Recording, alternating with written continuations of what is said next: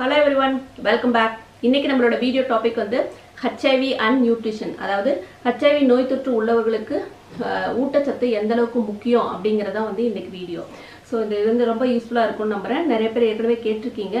Video கடைசி வரைக்கும் பாருங்க. பிடிச்சிருந்ததுன்னா லைக் பண்ணி சப்ஸ்கிரைப் பண்ணி சப்போர்ட் பண்ணுங்க. தேங்க்ஸ் ஃபார் டூயிங் தட் வாங்க வீடியோ பார்க்கலாம். நம்ம இப்போ வந்து ஹெச்ஐவி அண்ட் நியூட்ரிஷன் ப்ராப்பருக்கு போகிறதுக்கு முன்னாடி பொதுவாக இப்போ ஒரு நோய் தொற்று இருக்கவங்களுக்கும் ஊட்டச்சத்துக்கும் எந்த மாதிரி கனெக்ஷன் அப்படின்னு சொல்லிட்டு பார்க்கலாம். ஒரு சின்னதாக ஒரு இன்ட்ரடக்ஷன் பார்த்துட்டு அப்புறம் டீட்டெயில் போகலாம் இதில் என்னன்னா இப்போ வந்து அஹ், உணவு நம்ம சரியாக எடுக்கலைன்னா நோய் தொற்று ஏற்படும் அப்படிங்கிறது. அதாவது நம்ம உடம்பு சத்து குறைபாடு இருந்ததுன்னா ஈஸியாக நோய் தொற்று ஏற்படுத்திக்கும். அதே போல் நோய் அதிகமாக இருக்கும்போது நம்ம சரியாக சாப்பிட முடியாது. அப்படிங்கிறது நம்ம எல்லாருக்குமே தெரியும். இப்போ வந்து சத்தான உணவை எடுத்துக்கலைன்னா என்ன ஆகுது நோய் எதிர்ப்பு சக்தி குறையுது. அதே போல் ஊட்டச்சத்து குறைபாடு நோய் தொற்றினுடைய தீவிரத்தையும் அதனோட கால அளவையும் வந்து அதிகப்படுது. சீக்கிரமாக சரியாகாது. ரொம்ப ஏற்கனவே வீக்காக இருக்கவங்களுக்கு நோய் வந்துச்சுன்னா டைம் வந்து ரொம்ப எடுத்துக்கும். அதுவே நல்ல ஹெல்த்தியாக இருக்கவங்களுக்கு டக்குன்னு ஒரு நாள் ரெண்டு நாளில் சரியாக போகும் அப்படிங்கிறது தான் இப்போ நோய் அறிகுறினால இப்போ அதிகமாக சாப்பிட முடியாமல் போகிற பட்சத்தில் என்ன ஆகுது? தொடர்ந்து அப்படி இருந்துச்சுன்னா இல்லை ரொம்ப நாள் நோய் தொற்று இருந்துச்சுன்னா உங்களுக்கு வந்து வெயிட் குறைய ஆரம்பிக்கும். சின்ன குழந்தைங்கன்னா அவங்களோட வளர்ச்சியை கூட தடுக்கும். அவங்க நோய் எதிர்ப்பு சக்தியை மேலும் வந்து பலகீனப்படுத்தும் அப்படிங்கிறது. இதுதான் வந்து பொதுவானது. இப்போ பார்க்கலாம். வந்து ஹெச்ஐவி நோய் தொற்று உள்ளவர்களுக்கும் இந்த ஊட்டச்சத்துக்கும் என்ன மாதிரி இன்டர் கனெக்டட் அப்படின்னு சொல்லிட்டு. ஹச்ஐவி நோய் தொற்று உள்ளவர்களுக்கு பொதுவாகவே இந்த ஹச்ஐவி வைரஸ் அவங்களோட நோய் எதிர்ப்பு மண்டலத்தை வந்து அழித்து கொண்டே இருக்கு. இதனால வந்து அவங்களுக்கு சந்தர்ப்பவாத நோய்கள் ஏற்படும். அவங்க உடலை வந்து ரொம்ப பலகீனமாக்கும். இதற்கு மேலே வந்து அவங்களுக்கு ஊட்டச்சத்து குறைபாடும் இருக்கு அப்படிங்கிற பட்சத்தில் நோய் பாதித்தவங்களுக்கு வந்து ஆரோக்கியமாக ஒரு நார்மலாக வந்து வாழ முடியுறது. வாழ முடியாது பெரிய கஷ்டமா இருக்கும் அப்படிங்கிறது தான் ஸோ ஹெச்ஐவி மற்றும் ஊட்டச்சத்து குறைபாடு ரெண்டுமே வந்து நோயை எதிர்த்து போராடுறதுக்கும் அவங்க ஒரு ஆரோக்கியமான வாழ்க்கையை வாழ்றதுக்கும் ரொம்ப ரொம்ப முக்கியம் இல்லையா? ஸோ இந்த ரெண்டுமே வந்து ஒரு விசியஸ் சைக்கிள் அதாவது ரெண்டுமே வந்து ஒன்னோட ஒன்று கனெக்ட் ஆயிருக்கு. ஒன்று சரியில்லைனா இன்னொன்று வந்து மோசப்படுத்தும். அது சரியில்லைனா இதை மோசப்படுத்தும் அப்படிங்கிற விதத்தில் வந்து இது வந்து ஒரு மீள முடியாத சுழற்சி அப்படின்னு வந்து சொல்லலாம்.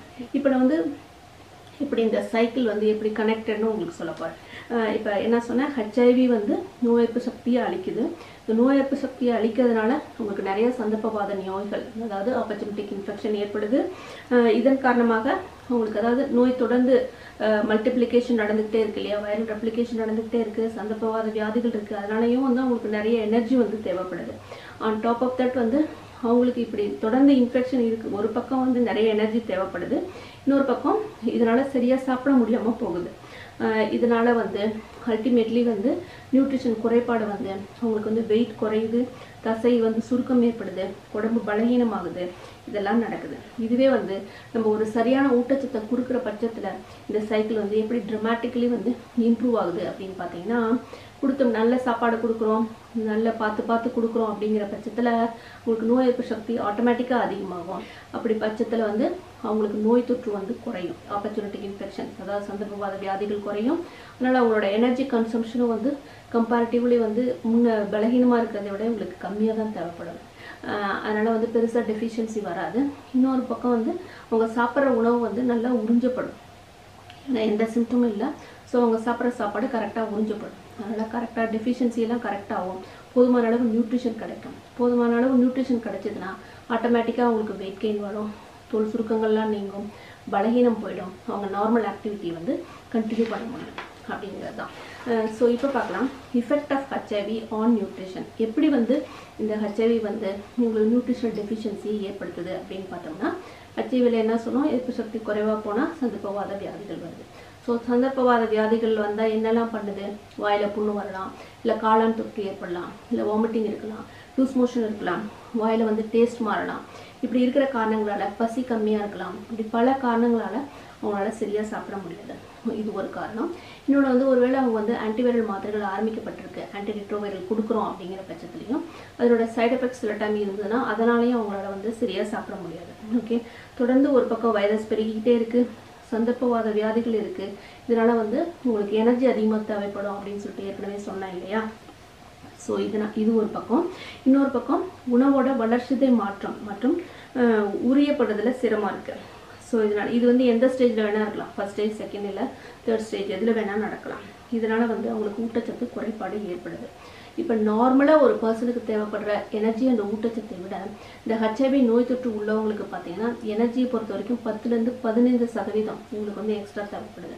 அதுவே புரோட்டீனோட அளவை பார்த்தீங்கன்னா ஆல்மோஸ்ட் வந்து double more than fifty percent வந்து அவங்களுக்கு வந்து நார்மல் பர்சனை விட அதிகமான புரோட்டீன் அளவு வந்து தேவைப்படுது. அப்படிங்கிறத நீங்கள் நினைவில் வைக்கணும். இப்போ பார்க்கலாம்.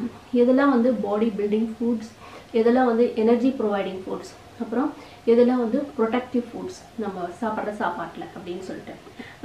ஸோ இதை பற்றின டீட்டெயில்டு வீடியோ அதாவது எப்படிலாம் நம்ம சாப்பாட்டை டிசைன் பண்ணிக்கலாம் பேலன்ஸ்டாக நம்ம டே டு டே ஆக்டிவிட்டியில் அப்படிங்கிறத பற்றி நான் ஏற்கனவே வீடியோ போட்டிருக்கேன். அதை நான் வந்து ஐகார்டில் கொடுக்குறேன். போய் கிளிக் பண்ணி அதை பாருங்கள் இன்ட்ரெஸ்ட் இருந்ததுன்னா.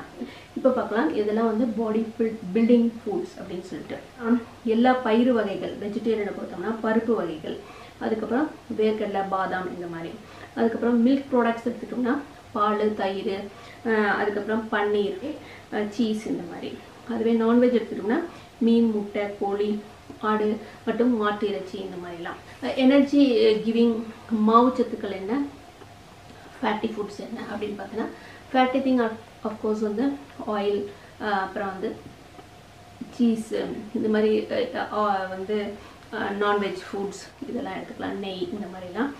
வந்து மாவுச்சத்துக்கள் நம்ம சாதாரணமாக சாப்பிடக்கூடிய அரிசி உணவு இல்லை கோதுமை உணவு இல்லை சிறுதானியங்கள் உணவு இப்படி இருக்கலாம். இல்லை கிழங்கு வகைகள் இது எல்லாத்துலேயும் வந்து நமக்கு வேண்டிய எனர்ஜி வந்து கிடைக்குது.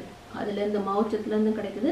அண்ட் அந்த கொழுப்பு சத்துலேருந்தும் நமக்கு எனர்ஜி கிடைக்குது. இதெல்லாம் நம்ம உடம்பை பாதுகாக்கக்கூடிய ப்ரொடக்டிவ் ஃபுட்ஸ் அப்படின்னு சொன்னோம்னா வைட்டமின்கள் மற்றும் தாது உப்புக்கள். இது இருந்தால் தான் வந்து மெயினாக வந்து நமக்கு வேண்டிய புரதம் மற்றும் கார்போஹைட்ரேட் இதெல்லாம் அதாவது மாவுச்சத்து இதெல்லாம் நம்ம சாப்பிட்டா கூட இப்போ வந்து நல்லா சாப்பிட்றோம் புரதம் எடுத்துக்கிறோம் கார்போஹைட்ரேட் எடுத்துக்கிறோம் வந்து கொழுப்பு சத்தும் எடுத்துக்கிறோம். இருந்தாலும் நமக்கு உடம்பு அந்த அளவுக்கு சரியா இல்லை அப்படின்னா உங்களுக்கு வைட்டமின் இல்லை வந்து மினரல்ஸ் வந்து குறைவாக இருக்கும் ஸோ அதனால் இதுவுமே வந்து ரொம்ப ரொம்ப முக்கியம்.